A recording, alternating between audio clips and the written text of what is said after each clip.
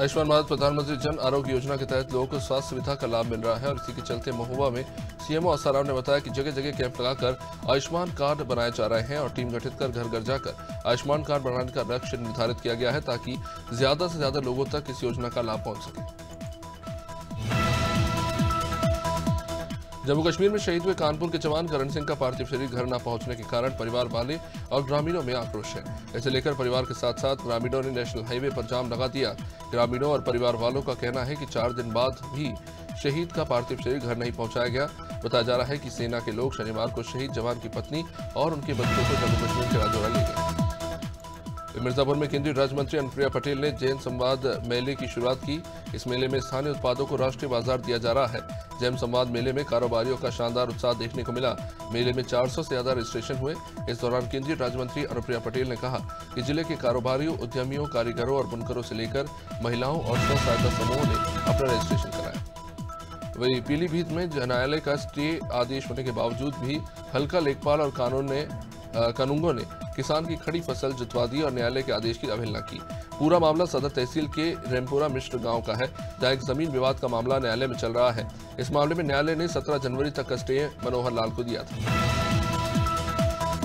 पूरनपुर में कोटा चयन को लेकर बैठक हुई, जिसके बाद से लोग विरोध प्रदर्शन कर रहे हैं। पूरा मामला जेठापुर गाँव का है। इस बैठक में एक युवक के हक में उचित दर विक्रेता की दुकान का आवंटन किया गया। ग्रामीणों ने ग्राम प्रधान गुरजीत सिंह और ग्राम पंचायत अधिकारी पर साठगांठ करने के आरोप लगाए और मनमाने ढंग से आवंटन करने की बात कही।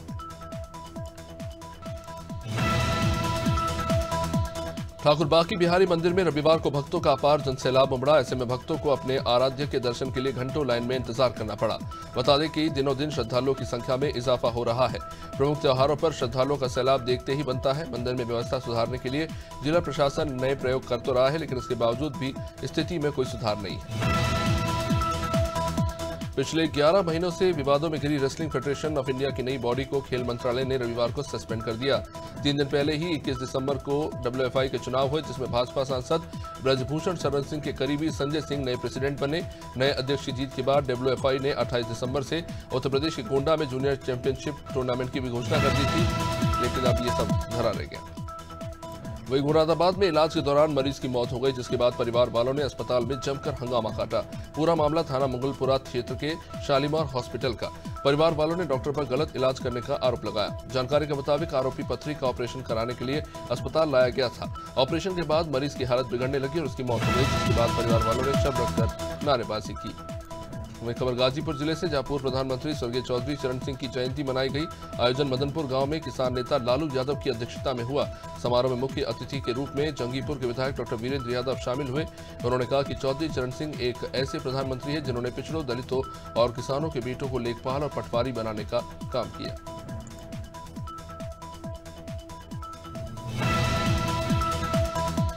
और इटावा की संयुक्त जिला जेल से एक कैदी फरार हो गया। कैदी के फरार होने की सूचना के बाद जेल प्रशासन के ही हाथ पाँव फूल गए। एसएसपी संजय कुमार वर्मा इटावा की जिला जेल का निरीक्षण करने पहुँचे। थाना सिविल लाइन पुलिस को भी पूरे मामले की जानकारी दी गई। फरार कैदी एरवा कटरा का रहने वाला है। फ़िलहाल पुलिस कैदी की तलाश में जुट गई है।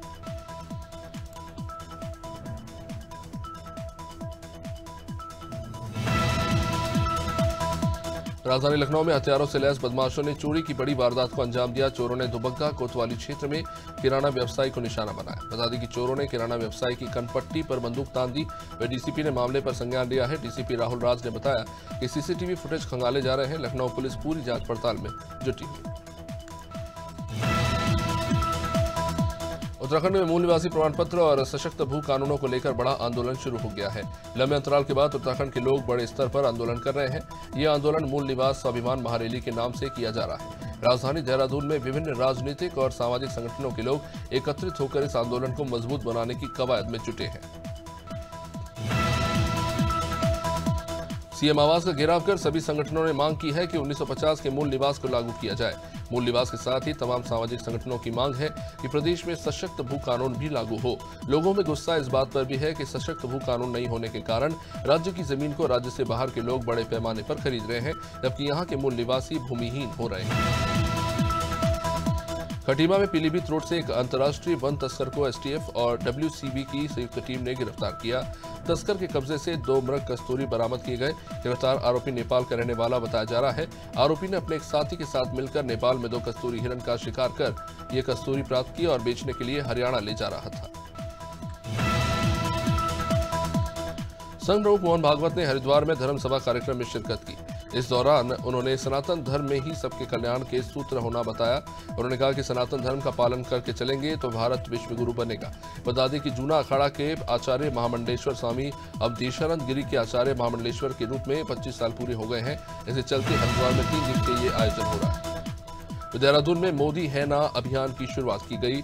अभियान के तहत भारी संख्या में युवाओं ने पदयात्रा निकाली। मुख्यमंत्री धामी ने इस अभियान की शुरुआत की, जिस दौरान हज़ारों की संख्या में लोगों ने देहरादून के पवेलियन चौक से लेकर सर्वे ऑफ़ इंडिया, हाथी, बड़कला तक यात्रा निकाली। सीएम धामी ने मोदी सरकार की गारंटी और योजनाओं के बारे में युवाओं को जानकारी छत्तीसगढ़ में धर्मांतरण का मुद्दा फिर गर्माता जा रहा है। एक तरफ़ बीजेपी, कांग्रेस में शासन कांग्रेस शासन में धर्मांतरण की बढ़ोतरी के आरोप लगा रही है तो वही कांग्रेस ने बीजेपी पर पलटवार किया। कांग्रेस संचार प्रमुख सुशील आनंद शुक्ला ने कहा कि प्रदेश में धर्मांतरण की घटनाओं पर सरकार को कार्रवाई करना चाहिए।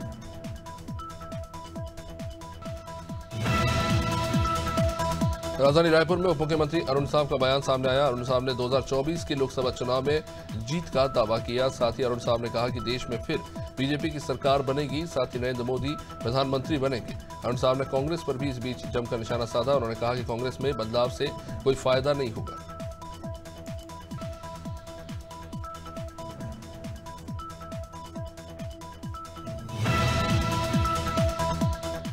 अमरपाटन में सतना चौराहे पर तेज रफ्तार का कहर देखने को मिला। अनियंत्रित बस ने पैदल चल रही वृद्ध महिला को रौन दिया। बस की टक्कर से महिला की मौके पर ही मौत हो गई। घटना सतना चौराहे की सूचना मिलने पर पुलिस वहाँ पहुँची और बस को जब्त किया। फ़िलहाल पुलिस इस पूरे मामले की जाँच कर रही है।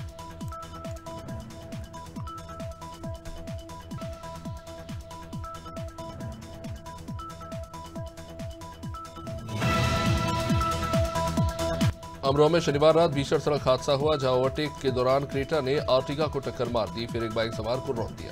इसके बाद पलटी खाती हुई एक खंती में जा गिरी। हादसे में प्रधान समेत चार लोगों की मौत हो गई। वारदात के बाद आर्टिका सवार लोग मौके से फरार हो गए। टक्कर इतनी ज़बरदस्त थी कि क्रेटा के परखच्चे उड़ गए। दरवाजे तोड़कर शवों को निकालना पड़ा। अमरोहा में बड़ा सड़क हादसा हुआ। ट्रक ट्रक चालक को नींद की झपकी लगने से ट्रक और ट्रैक्टर की ज़बरदस्त टक्कर हुई। टक्कर लगने से ट्रैक्टर के पर खच्चे उड़ गए। घटना से नगरी क्षेत्र के संबल हसनपुर हाईवे में हुई। यह ट्रक चालक गुवाहाटी से चाय पत्ती लेकर हरियाणा जा रहा था, तभी उसे झपकी लगी और यह हादसा हुआ। अमरोहा में बड़ा सड़क हादसा, जहाँ ट्रक चालक को नींद लगने के कारण भयंकर टक्कर हुई, जिसमें ट्रैक्टर के परखच्चे उड़ गए। घटना सेंध क्षेत्र के संबल हसनपुर हाईवे पे हुई, जहाँ पर ट्रक चालक गुवाहाटी से चाय पत्ती लेकर हरियाणा जा रहा था। तभी नींद लगने से बड़ा हादसा हुआ। ट्रक चालक और ट्रैक्टर चालक दोनों ही गंभीर रूप से घायल। अमेठी में तेज रफ्तार पिकअप ने बाइक सवार को ज़बरदस्त टक्कर मारी। टक्कर में बाइक सवार एक व्यक्ति की मौके पर ही मौत हो गई तो दूसरा युवक गंभीर रूप से घायल हो गया। मामला अमेठी की कोतवाली क्षेत्र के बलभद्रपुर गाँव के पास का। यहाँ बाइक सवार दो लोग काम करके वापस घर जा रहे थे, तभी सड़क दुर्घटना में एक युवक की मौत हो गई।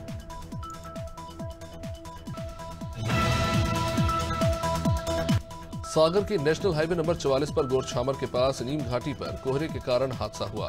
घने कोहरे में एक के बाद एक, पाँच वाहन आपस में टकराए। घटना में वाहनों में सवार कई लोग घायल हो गए। सूचना पर पहुँची पुलिस और घायलों को अस्पताल में भर्ती कराया गया।